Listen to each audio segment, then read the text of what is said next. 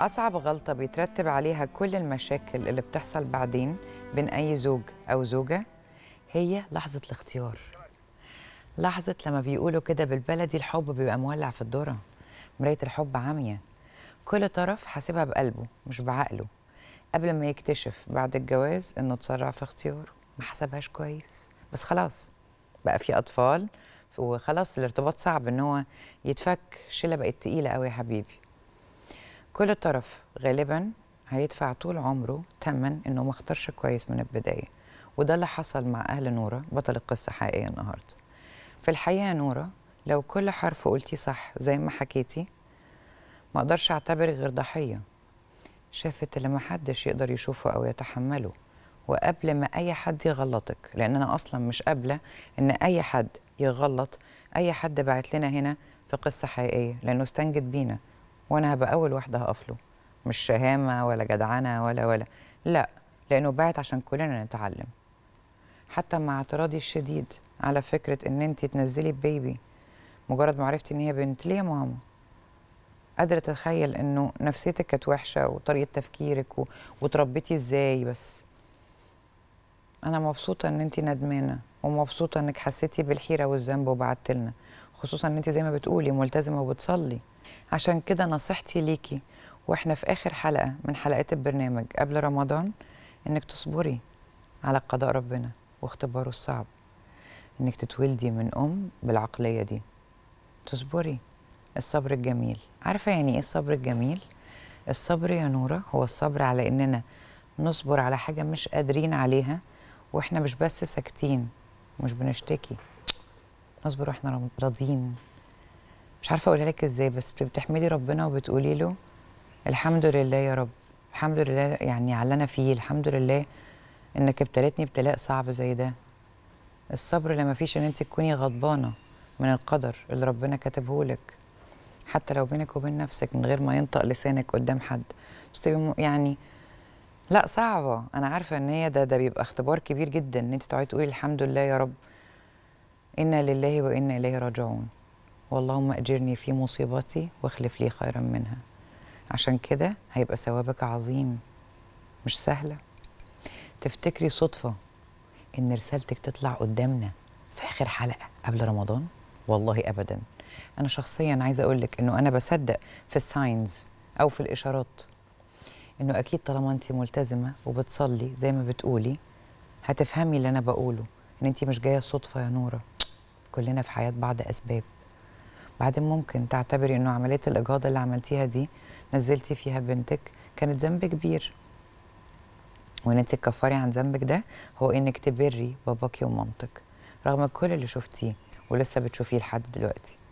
مش هتصدقيني لو قلت لك إن مامتك ضحية. مش ست وحشة.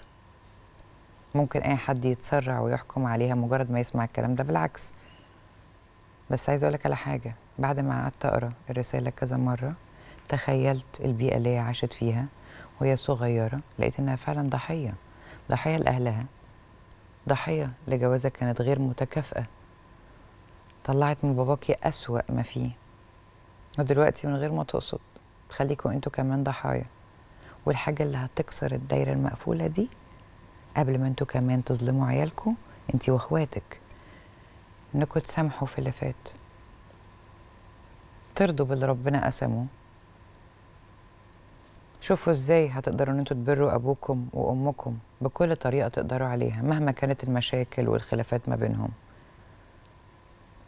خلي شهر رمضان ده يبقى رضا وسكينة وتدعي ربنا من كل قلبك. إنك عايزة تبري أهلك وعايزة تكفري عن ذنبك اللي عملتيه. اطلبي منه إنه يساعدك ويرشدك. اختار لي ولا تخيرني. اخرجني من حولي وقوتي إلى حولك وقوتك. ودبر لي أمري فإني لا أحسن التدبير. عمره ما يتخلى عنك. طالما شايف قلبك نظيف ونيتك خير وده ظننا في رب العالمين. سمعتي معايا كمان نصيحة دكتور مهاب في الفقرة اللي فاتت. وهستنى منكم رسائل كتير بعد رمضان ونرجع بموسم جديد بس لسه بقول لكم لحد النهارده. ويمكن أنا من الناس اللي بيقولوا عليهم إن هو آه لا حياء في العلم. أنا ما بتكسفش وأنا بتكلم في علم. ويمكن جريئة جدا لأنه شفت كتير جدا. ولازم حد يوصل صوت الناس. بتعملوا في بناتكم كده ليه؟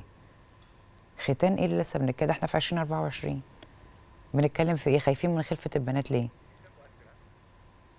أنا رأيي إن أنتوا تربوهم أحسن. يعني الناس دايما تقول لك خلي بالك من نفسك. هي لما تبقى مختونة هتحافظ على نفسها. شرف البنت في دماغها. التربيه السليمه وخلي بالكم عيالكم بيتربوا زي ما بيشوفوكوا ما تقوليش أصل أنا إيه آه أنا ما بصليش بس أكيد هيطلعوا بيصلوا. مش هيطلعوا بيصلوا. أنا بكذب بس هم أكيد مش هيطلعوا بيكذبوا هيطلعوا بيكذبوا. حرام عليكم. يعني أنا زعلان إن أنا طالعة وبتكلم في موضوع زي ده في 2024 بيقول لك عشان التربية عشان البنت. تعرفوا كام ست حياتها باظت بسبب الموضوع اللي بتعملوه ده؟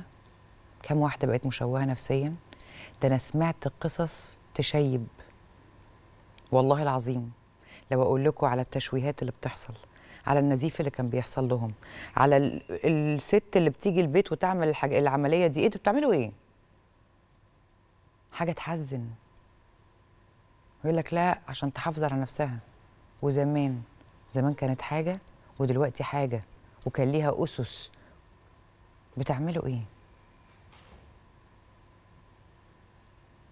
يا رب نقدر نغير يا رب ينفع بينا الناس ويستخدمنا ولا يستبدلنا. كل سنة وأنتم طيبين وفي صحة وخير وسلامة وسعادة وسكينة ورضا.